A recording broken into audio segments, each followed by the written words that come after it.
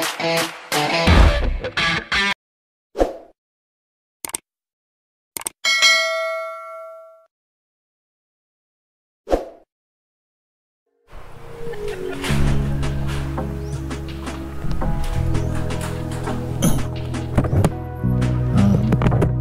morning guys. Ayan, ito pala yung ano Ititest drive natin na ano NMAX 155 uh, Test drive natin kung ano yung performance niya. And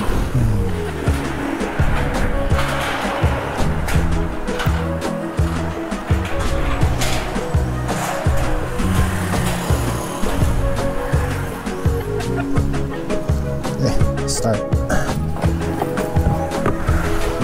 Once again, good morning. So, test drive natin yung Max 155. Parang 2018 model. Uh, kung yung Max natin na test drive. Ano pala, yung ginagamit ko na ano, um, GoPro Hero 8 to guys. Saka yung mic ko is sa sila lang. Test drive natin.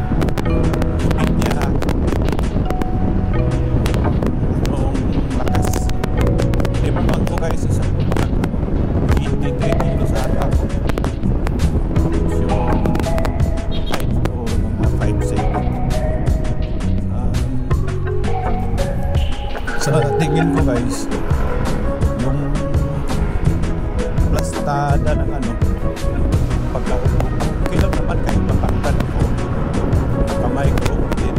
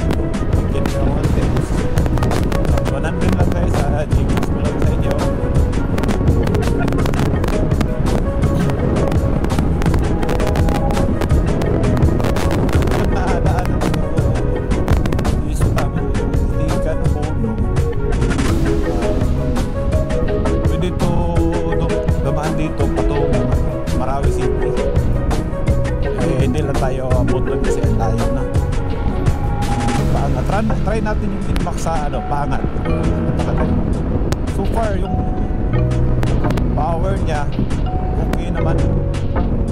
Um, suspension. Suspension medyo yung sa harap medyo malam sa likod. Uh, titigasan siguro ako yung titigasan na pero pag natin guys. Pakya to? Natin power nila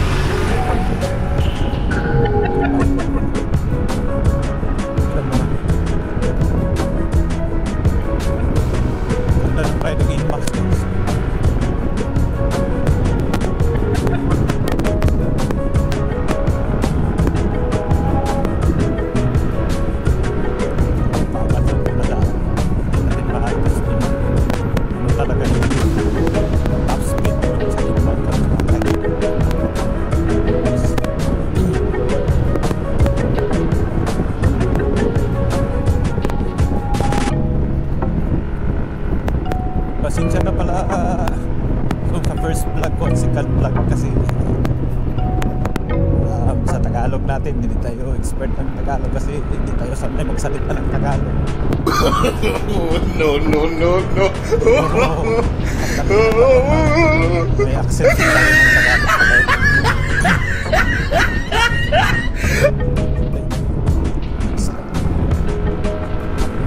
Dahon ng saging.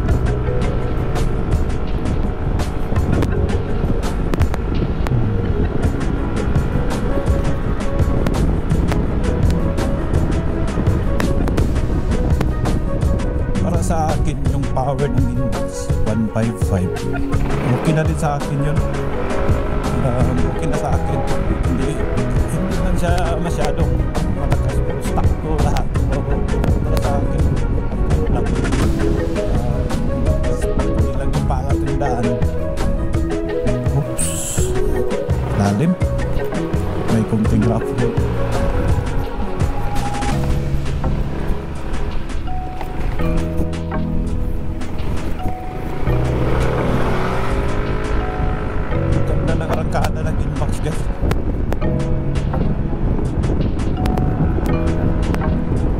sanay sa ano eh. Hindi ako sanay sa scooter na ano. Kasi yung ginagamit ko talaga guys. Twin na ano, 1,000. Pero para sa akin sa 155cc na okay na. Pin pa sa gas.